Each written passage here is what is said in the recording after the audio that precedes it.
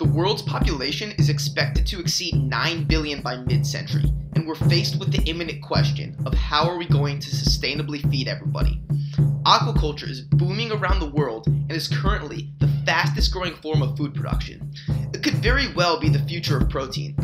Current aquaculture practices, however, are extremely unsustainable. The issue is that conventional fish feed is mostly made from wild caught anchovies, which devastates marine ecosystems and harms rural fishing communities. The solution? Kulisha Fish Feed, an all-natural, all-sustainable feed made from black soldier fly. These things are incredible. They feed off of organic waste and are extremely rich in nutrients. Given their efficiency in converting feed into body mass, large volumes of black soldier fly can be raised with a vastly smaller carbon footprint than any other protein source, like anchovies. So here's the plan. Welcome to Kenya, where I'm from.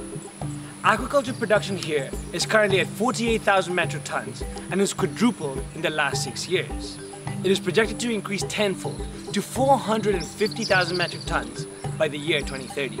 If current practices continue, the demand for fish feed will exert a huge pressure on Kenya's coral reefs and fishing villages. And there's another problem. Most farmers simply cannot afford the current feed from the market. and the feeding i mean the, the food is the food is very expensive it uh, instead of uh, giving me money i'm finding to lose money As you can tell, there are a ton of organic scraps that are thrown out here in Kenya.